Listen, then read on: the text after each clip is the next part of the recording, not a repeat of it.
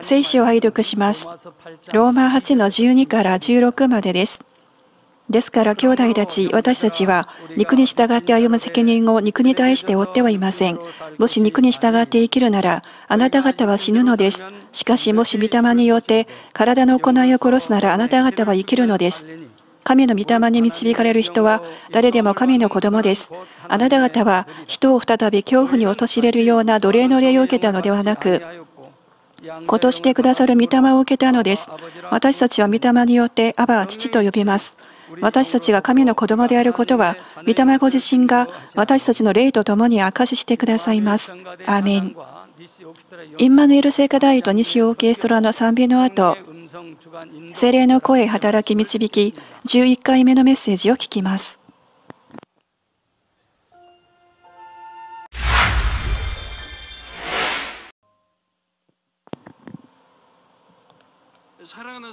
愛する生徒の皆さん、全世界と全国の地教会、市政殿、全世界でインターネットで礼拝を捧げている生徒の皆さん、GCN 視聴者の皆さん、信玄二重の後に人の心にある計りごとは深い水英知のある人はこれを汲み出すとあります。計りごととは物事がうまくいくように前もって考えた手段、方法、計画、また計略のことを言います。人はもともと計りごとに長けている存在です。神様が優れた思考力を植え付けてくださったからです。ところが人類の歴史上天才と呼ばれた人々さえ神様から授けられた能力の半分も使えなかったと言われています。心にあり計りごとをなぜ汲み出すのが大変な深い水だと言ったのかわかるでしょう。それでも皆さんはこの計りごとをいくらでも汲み出すことができます。精霊に助けられればできるのです。ただし条件があります。まず心の奥にある悪から引き抜かなければならないということです。精霊は悪のない方だからです。精霊の思いを知るには皆さんも悪のない心に変えられなければなりません。義と枠から出てくる肉の思いは大抵心の奥にある悪から出てきます。皆さん、肉の思いがないだけでもとても平安でいいのに、肉の思いが皆さんをどれほど辛くさせますか？なければいいのに。したがって、精霊の声を明らかに聞くには、邪悪な良心、本性の中の悪など、心の奥深くに隠れている悪まで探して捨てなければなりません。前回は邪悪な良心について伝えました。今日は本性の中の悪について調べてみましょう。前回は邪悪な良心。今日は本性の中の悪ですが、本性の中の悪の方が発見しにくいです。続いて、肉の思いと従順の関係について、ペテロの例を挙げて説明いたします。誠に良い心に変えられて、精霊が組み上げてくださる計りごとで、日々勝利しますよう、主の皆によって祈ります。愛する生徒の皆さん、本性とは心の根本の性質のことです。人は生まれた時から善と悪が混ざっている本性を持って生まれます。人類はすべてアダムの子孫であり、本性の中に現在を受け継いでいるからです。もちろん本性は100%生まれつき持っているものだけで決められるのではありません。悪い本性を持って生まれても成長しながら心に善を多く受け入れれば本性が良くなります。悪い本性を持って生まれても、え、赤ちゃんはみんな心はきれいでしょう？悪を持って生まれるなんてことありますか？あります。例えば、赤ちゃんのお父さんがよく憤る人なら、大体赤ちゃんにも憤りが多いです。両親がおとなしい人なら赤ちゃんもおとなしくてお腹が空いても少しぐずってはすぐ収まったり静かに泣いたりしますでもある子はお腹が空いたら激しく大声で泣きながら暴れるのですママ早く来てお腹お腹空いて死にそう早くと大騒ぎです。待ちきれないと息まで止まりそうです。行きつけ引きつけを起こしそうになって。そんな赤ちゃんはほとんどそのお父さんの性格を見てみると似ているのです。でもお腹が空いても我慢できるしママお腹空いた？こんな風に伝えて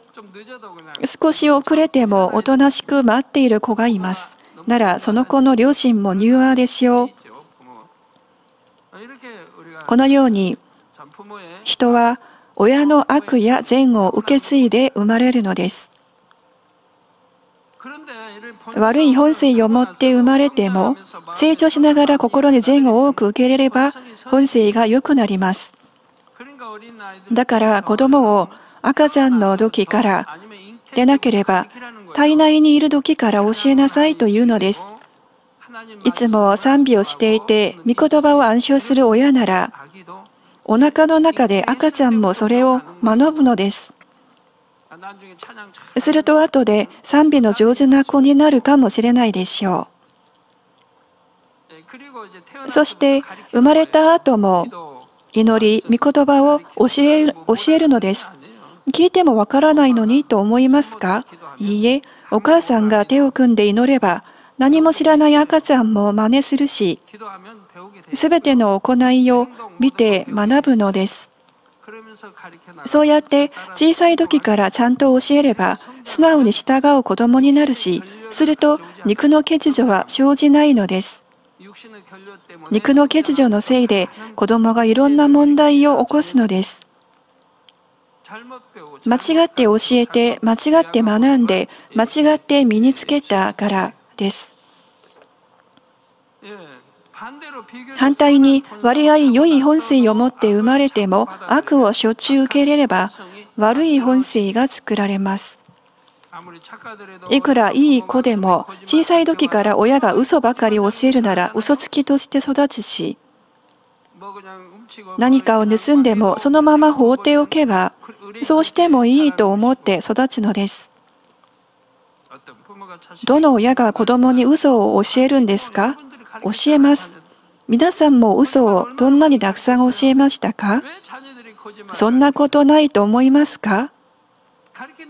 でも教えたのです。だから子供が嘘つきになったのです。例えば学校で成績表を、今は分かりませんが昔は成績表を夏休みの前もらったんです。それで親が成績表を出しなさいと言うと、もらってないと嘘をつくのです。少し悪い子は成績表の順位を直して親に見せて反抗をしてもらったりもします。親が嘘を教えたのです。もっと分かりやすい例を挙げましょう。家の電話が鳴ったら子供が出て受話器を塞いでこう言うのです。お母さん、今、誰々さんから電話が来たけど、なんて答えたらいいいい？するとお母さんが、買い物に行ってると言って、嘘を教えてますね。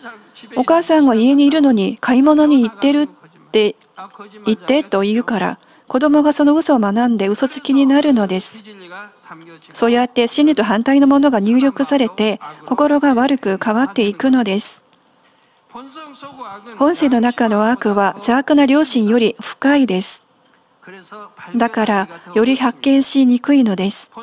本性は土の性質、すなわち土質に例えられます。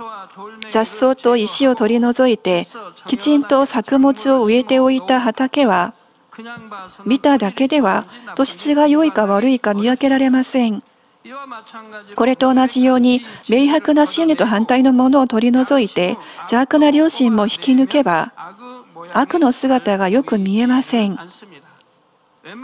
よほどでよほどでなければ表に現れません。ところが、この本性の中に悪があることで自分でも知らず肉の思いを巡らすようになるのです。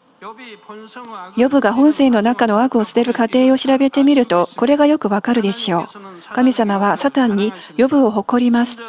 彼のように潔白で正しく悪から遠ざかっている者は一人も地上にはいないと言われました。この通りヨブは行いとしては神様の御心に逆らうことが全くありませんでした。ところがこんなヨブにも肉の思いがありました。例えば子供たちが宴会を開いて楽しんだことでもあれば罪を犯したかもしれないと思って子供たちを呼び寄せて全焼の生贄を捧げました。聖書にはヨブがいつもこのようにしていたと記されています。行いは正しかったのですどんな罪の隔ての壁も作らないで神様と和らごうとする予部の行いはとても潔白です。子供まで神様と和らがせようとしたのです。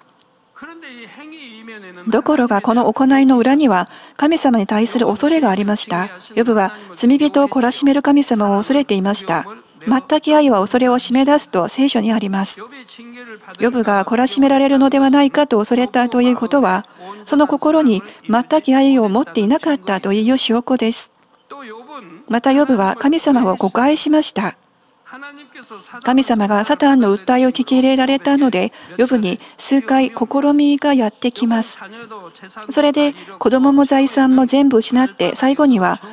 足の裏から頭の頂まで悪性の種持ちができました。ヨブの妻がそれを見て、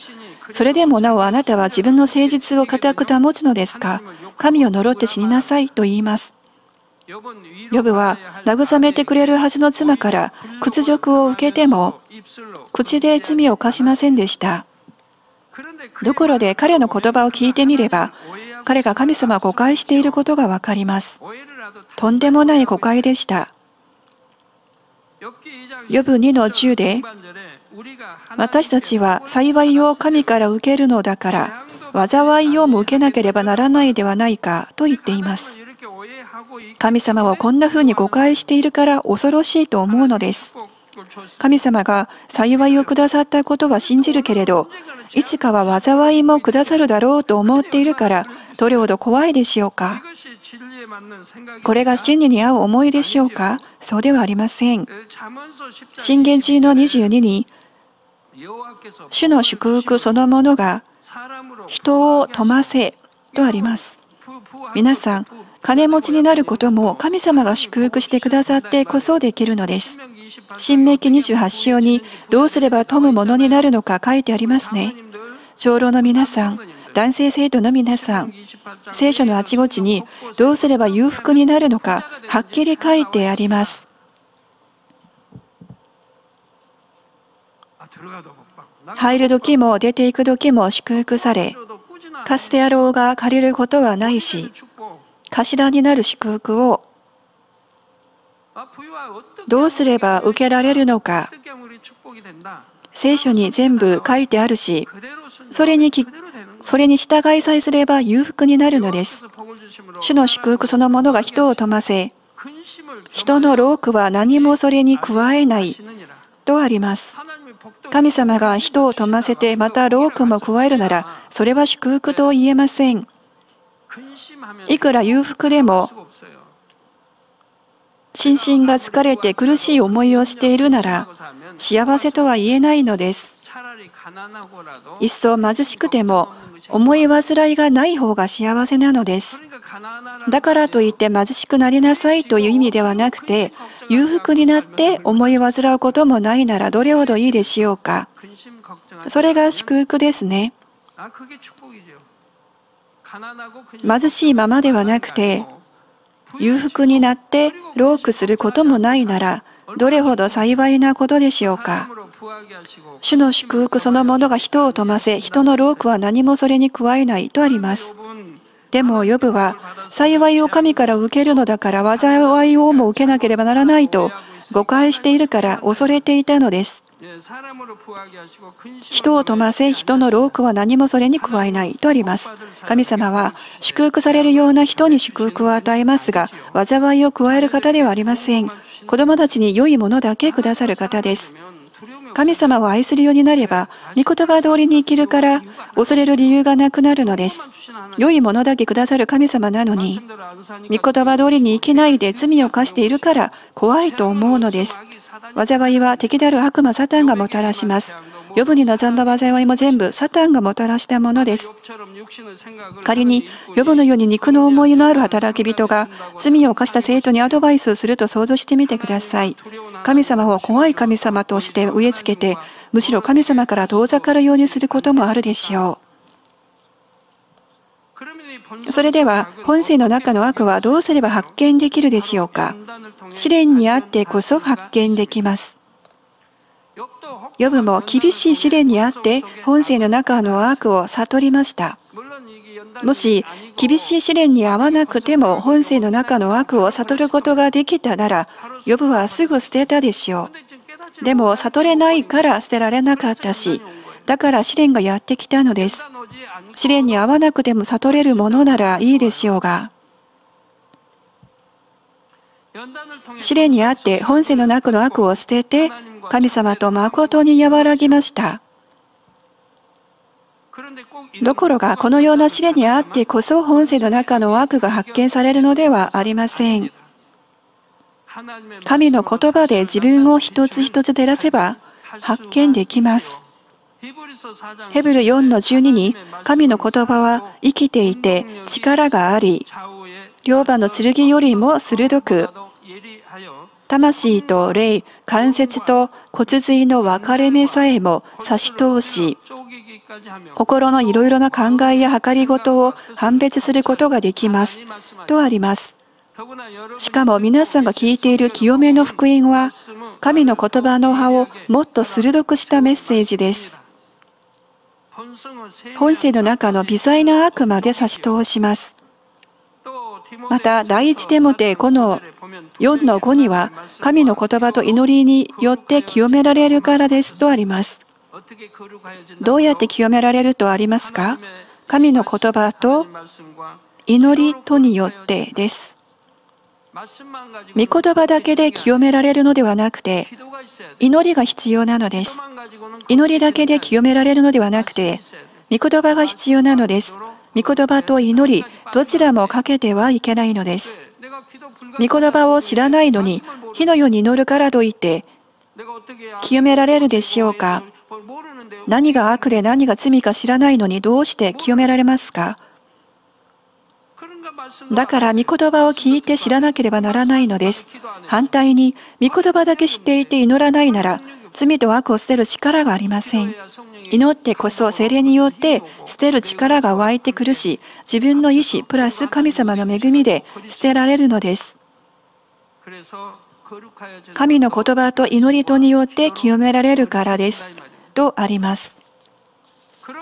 ですから、神の言葉と祈りによって自分を照らして、本性の中の悪を発見して捨てますように。私は特に罪を犯していないようなのに、なんとなく重苦し重苦しいと思う方がいるでしょうか。本性の中の悪がその原因かもしれません。あるいは前犯した罪を悔い改めたとしても完全に悔い改められていなくて神様との間の壁が壊れていないケースもあります。こういう人は恵みと喜びが一瞬望むことはあっても、いつも望んでいるのではないのです。火のように祈れば望むことはあっても、続かないのです。罪の壁があるから。自分の心に誠の平安がないなら、肉の思いがあるということです。皆さん、肉の思いがあれば平安がなくなるでしょう。肉の思いがなくなくなってこそ心に平安が望むのです。わけもなく人を裁いて罪に定めたり、妬んだりする人が平安なはずがないでしょう。心に平安がないなら、肉の思いがあるということです。火のように祈って精霊に照らされて、本性の中の悪魔で捨てる幸いな皆さんになりますように。愛する生徒の皆さん、これから肉の思いと従順の関係について調べてみましょう。肉の思いを打ち砕いてこそ、精霊の声や働きかけに従えます。逆に、精霊の声に従えば、まだ残っている肉の思いが打ち砕かれます。精霊の声に従えば、人の思いを超えて働かれる神様を見つけて体験することができます。いろいろな問題が解決され、願いに応えていただくこともできます。神の力によって神の国を大いに実現することもできるでしょう。このような体験を通して肉の思いが打ち砕かれます。従順は魂に幸いを得ているように全ての点でも幸いを得る一石二鳥の祝福をもたらします。聖書はこのように精霊の声または神の言葉や主の言葉に聞き従って祝福された人々を紹介しています。イエス様の一番弟子ペテロもその一人です。ペテロは自分というものがとても強い人でしたが、自分の義がとても強い人でした。イエス様に従順の訓練を受けた結果、死にまで従う人に変えられました。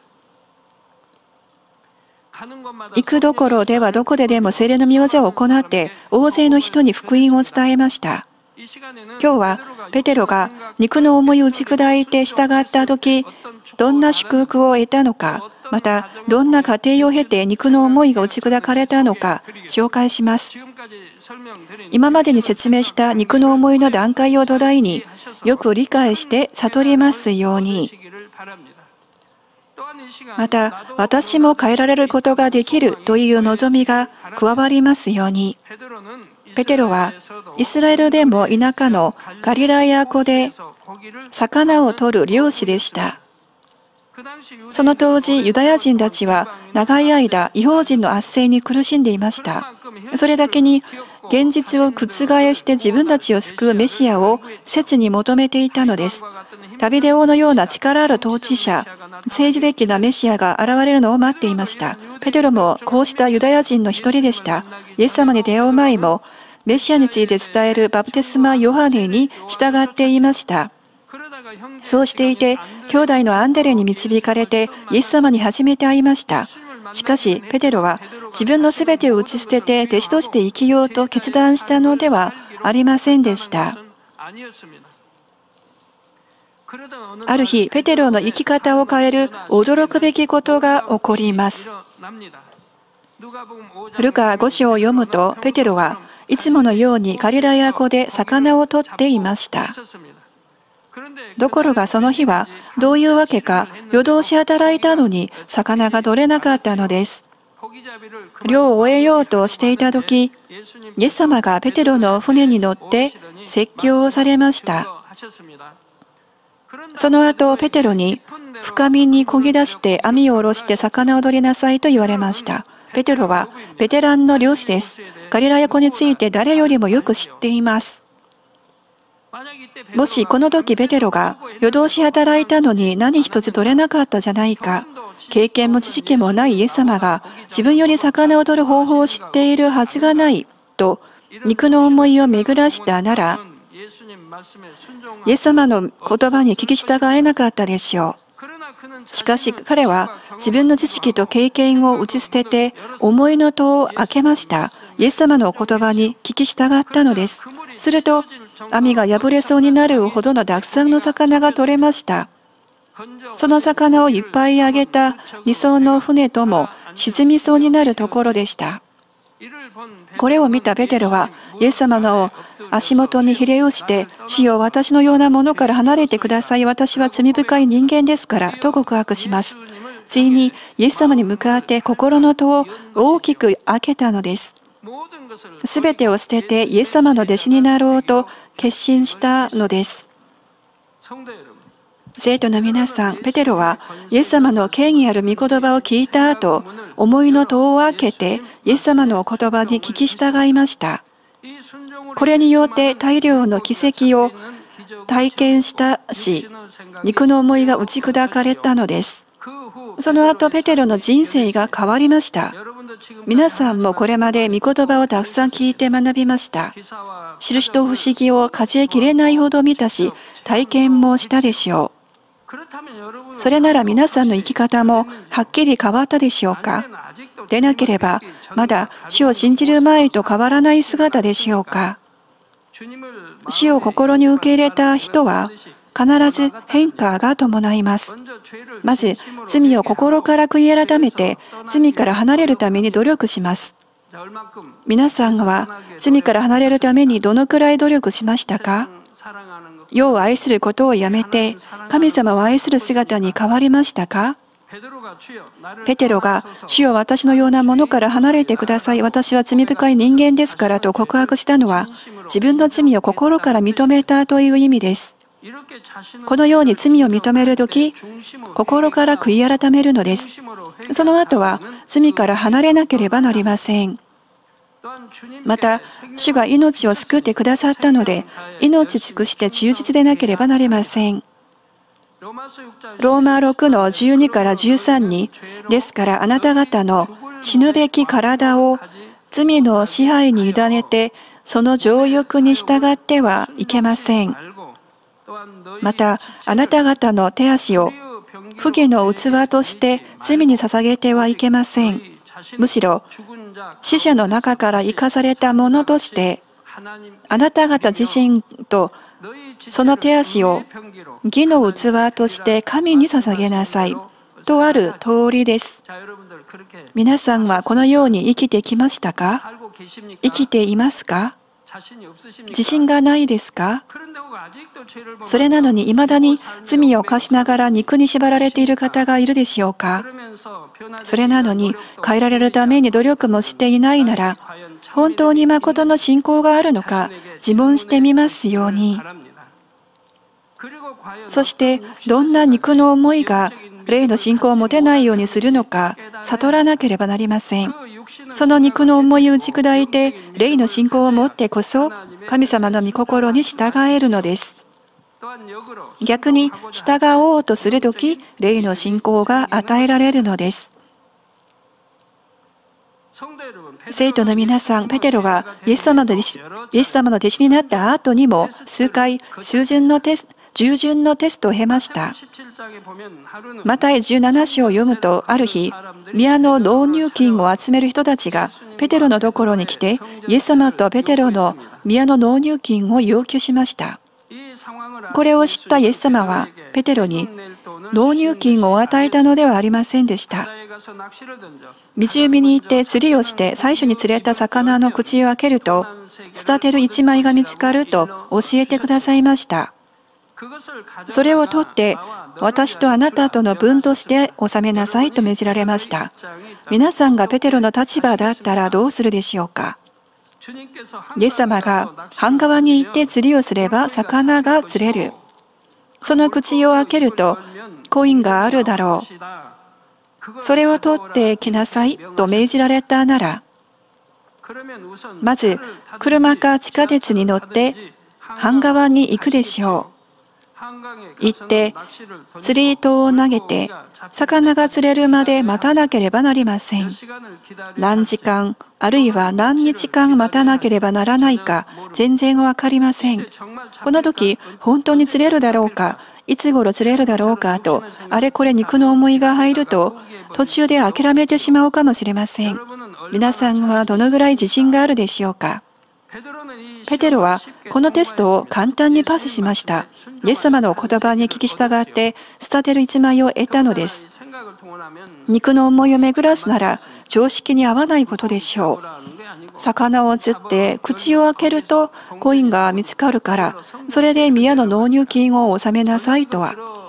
そんなことは聞いたこともないし考えられないようなことだから従いにくいでしょう。でも、ペテロは従いました。皆さん、聖書で言う従順とは霊的な従順です。従いやすいことに従うことは肉的な従順です。それは誰でも従えることです。でも、従いにくいことに従うとき、それを霊的な従順というのです。自分の考えと理屈、経験などを打ち砕いて、ただ御言葉にアーメンと従わなければならないのです。神様は従いやすいできそうなことではなくて思いを巡らせば到底不可能なことを命じられますその時自分の思いを巡らさないで聞き従えば奇跡が起こるのです私はたった7000ウォンで教会を開拓した時から今まで従順のテストを数回受けました。例えばもっと広い正殿に移る時も財政が豊かだったことはたった一度もありませんでした。他の教会を施した時も世界宣教をした時も放送宣教を始めた時も余裕があったのではありませんが神様だけを信じて聞き従いました。本当に何もない無から始めました。GCN 放送を始めた時もお金とか技術があったのでもないしエンジニアも放送について知っている政党もいなかったけれど神様のお言葉にただ聞き従ったのです。湖に行って釣りをして最初に釣れた魚の口を開けると捨てる一枚が見つかる。このように答えが明快なら一層増しでしょうがただ祈りながら答えを待たなければならない時もありました。皆さんは今何が必要でしょうか？驚いたことにイエス様はペテロが税金を納めることについて説明する前にすでにこれについて知っておられました。ペテロが伺う前にどう対処すべきかすぐ答えをくださったのです。このように聖霊様も皆さんの事情をことごとく知っておられます。皆さんがどうすれば願うものが得られるのかその道をよく知っておられるのですですから、すべての必要を精霊に求めて、ただ働きかけられる通りに従って、すべてのことに答えを受けますように。生徒の皆さん、ペテロは、イエス様の一番弟子らしく、よくよく聞き従って、一番信頼されていました。しかし、肉の思いを巡らして聞き従えない時もありました。マタイ14の22から33を読むと、イエス様が水の上を歩いて弟子たちが乗っている船に向かって来られます。水の上を歩いて来られるイエス様を見て、大胆なペテロは、主よ、もしあなたでしたら、私に水の上を歩いてここまで来いとお命じになってくださいと願います。これにイエス様は、来なさいと言われ、ペテロは船から降りて水の海を歩き始めました。従いましたか？しませんでしたか？そこまでは従いましたね。ところが、風で波が立つのを見たら、一瞬、沈んだらどうしようという恐れ、すなわち肉の思いが入りました。すると、それ以上イエス様のお言葉に聞き従えませんでした。体が水の中に沈みかけたのです。疑ったからそれ以上従えなかったのです。今、水の上を歩いてはいても、一瞬疑ったら怖くなって水の中に沈みかけたのです。イエス様の言葉に従ったのに沈みかけてしまったではなくて、自分が疑ったから沈みかけたのです。それは従順と言えないのです。そこでイエス様はすぐ手を伸ばしてペテロを掴んで、信仰の薄い人だな、なぜ疑うのかと悟らせてくださいました。この場面から私たちはいくら聞き従いたくても肉の思いが残っていれば完全に従えないことが悟れるでしょう。たびたび神の国の力になろうと事業を始める生徒がいます。同会者先生は精霊に正しく働きかけられるから言われた通りに従いますと言いながらどんな事業をすれば成功できるでしょうかと質問してきます。初めに持った意図は良いのです。ところが途中で事業が思い通りにならなかったり、厳しい現実に直面すれば肉の思いを巡らす人がいます。果たしてこの道が正しいのだろうかと疑って他の分野に進路を変えたり神様に最後までより頼めないで世の方法を使っていて不法を行うこともありますこのようにいくらお言葉通りに行いたくても肉の思いを完全に打ち砕かなければ打ち砕かなければ最後まで聞き従えないのです。愛する生徒の皆さん、ペテロは変えられる過程で失敗もしましたが、イエス様への愛と信頼は変わりませんでした。ペテロの心はいつもお言葉に聞き従う心でした。ところが、肉の思いがある限り、イエス様と完全に一つになれませんでした。マタイ16章を読むと、ペテロがこれを多分切々と感じた出来事があります。ある日、イエス様は弟子たちに、人々はご自分を誰だと言っているのか聞かれます。弟子たちの答えを聞いた後、あなた方は私を誰だと言いますかと聞かれました。これにペテロは、あなたは生ける神の御子、キリストですと、イエス様が満足されるような答えをしました。それでイエス様は、ペテロを褒めて、大変な祝福のお言葉をくださいました。ところが、それほど立たないうちに、イエス様に厳しく責められます。イエス様はその時から弟子たちに十字架の苦しみと死、復活について語られました。また16の22を読むと、これを聞いたペテロは、イエス様を引き寄せて、死を神の恵みがありますように、そんなことがあなたに起こるはずはありませんと、諌め始めました。するとイエス様は、下がれ、サタン、あなたは私を邪魔私の邪魔をするものだ。あなたは神のことを思わないで、人のことを思っていると、ペテロを厳しく責められます。愛するし、イエス様が苦しみを受けて死ななければならないというので、一番弟子のペテロの心はどれほど燃えたでしょうか。しかしこれは人間的な道義から出てきた義でした。人間的には死のことを考える良い思いかもしれませんが、霊的には神の技を妨げる肉の思いに過ぎませんでした。かえって神の技を妨げることなのです。私もこれまで教会の働き人を見守りながら似た体験をしたことがあります。教会の働き人の中には、世で誠実で正直だと認められた方が大勢います。このうち多くの方が神の国の働き人になると、世の義と枠、自分なりの義と枠を打ち砕く過程を経ました。教会の働き人になったから、教会のために、生徒のために自分なりに熱く東本清掃します。しかし自分なりの義と枠のゆえ、いざというと神様の御心は全然押し量れないこともあります。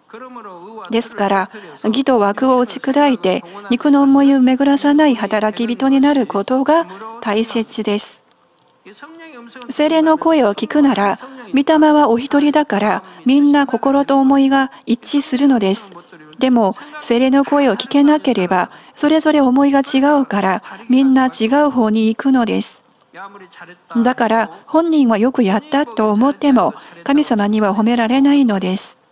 イエス様は十字架につけられて死なれるその瞬間まで弟子たちを心から離しませんでした。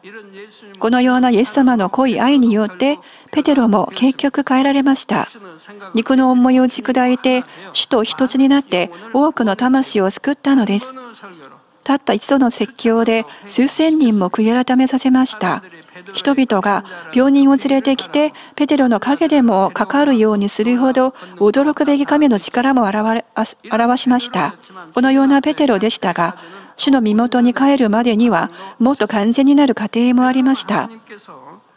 神の力を表す人として用いられるほど清められましたが、肉の痕跡というものが残っていたからです。これについては次の時間に調べてみましょう。結論です。愛する生徒の皆さん、イエス様は十字架につけられるためにエルサレムに入場された時、2人の弟子に一つのことを命じられます。ルカ19の30に、向こうの村に行きなさい。そこに入ると、まだ誰も乗ったことのないロバの子がつないであるのに気がつくでしょう。それをほどいて連れてきなさいとあります。この時イエス様は使わす2人の弟子をどんな基準によって選ばれたでしょうか第1は従順でした。もし弟子たちが肉の思いを巡らしてイエス様のお言葉を疑ったり自分の思いのまま行うなら身が結ばれないでしょう。弟子たちはイエス様とずっと一緒だったからイエス様が前もってロバの持ち主に会ってお金を渡しておかれたのでもないでしょう。弟子たちはずっとイエス様に付き添っていたから。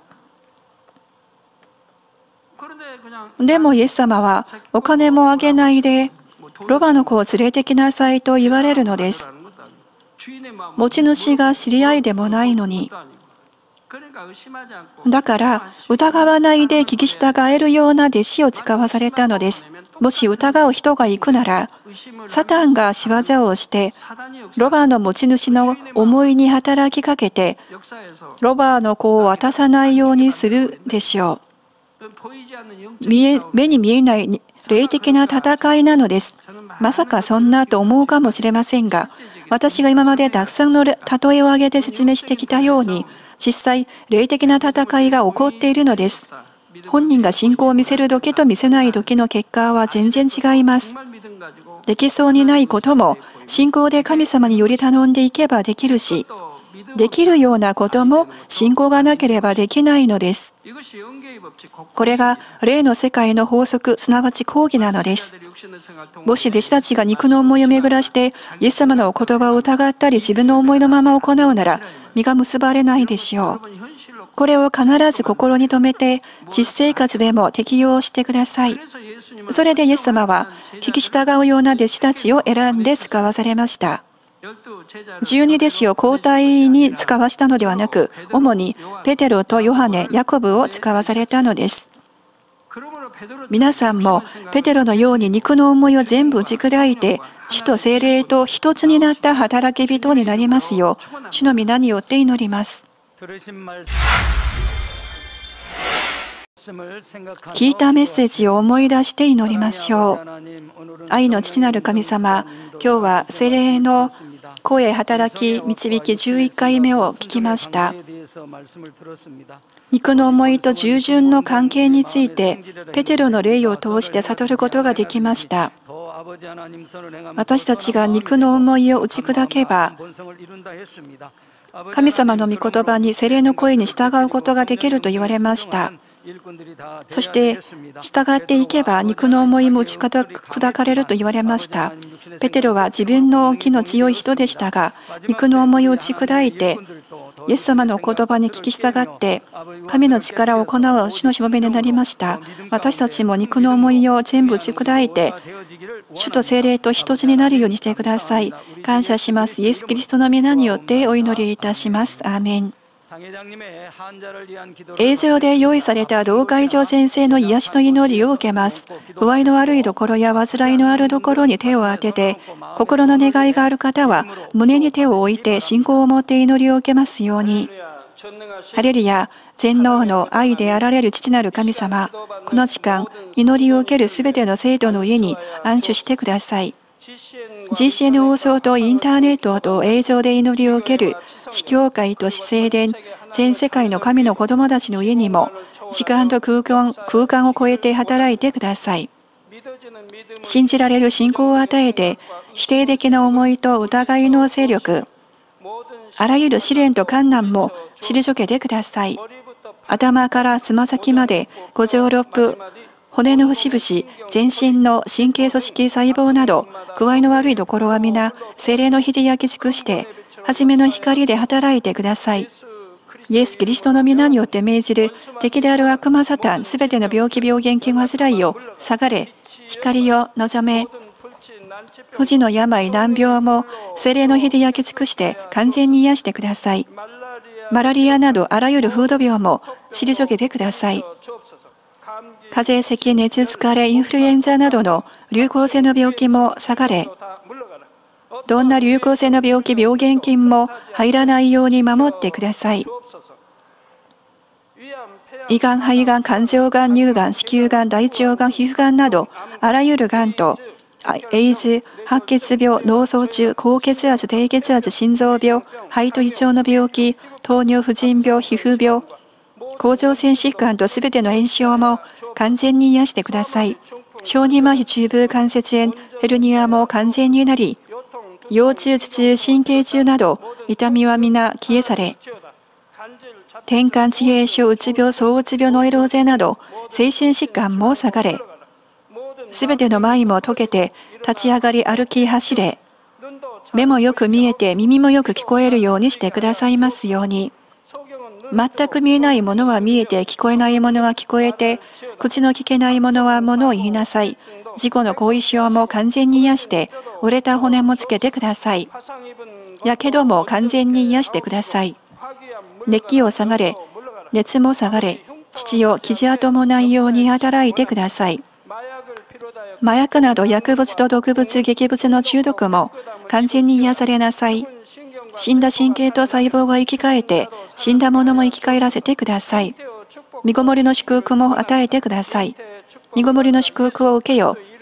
イエス・キリストの皆によって命じる敵である悪魔サタン空中の権威を持つ支配者である悪い霊どもよ下がれ。その使い立ちも下がれ。この地上の悪い霊汚れた霊偽り欺きの霊争いを起こして惑わす闇は皆下がれ。すべての悪の絆を解いて闇を下がれ光を望め父なる神様主を呼び求めて祈れるように罪を捨てて清められるように強くしてください魂に幸いを得ているようにすべての点でも幸いをくださり家庭も福音化されますように1週間もあらゆる事故と災いから守って何をしても栄えるように祝福してください。精霊の炎の壁で天の軍勢意味使いと主の燃える炎のような恩目で全ての神の子供たちと家庭職場授業の場を守ってください。子供たちには知恵と悟りを加えて勉強もできる熱い心も増し加えてください。心と思いをこの世に奪われないように守ってくださり神様を熱く愛するよう祝福してください。神の子供たちが食べるにも飲むにも何をするにも神の栄光を表すように祝福してください。私は神様を見つけた、体験した、答えを受けた、祝福されたと、証しする口になるようお働きください。父なる神様、感謝します。栄光をお受けください。我らの主イエス・キリストの皆によってお祈りいたします。アーメン。涙の中おらる主愛の主それは命与える救いの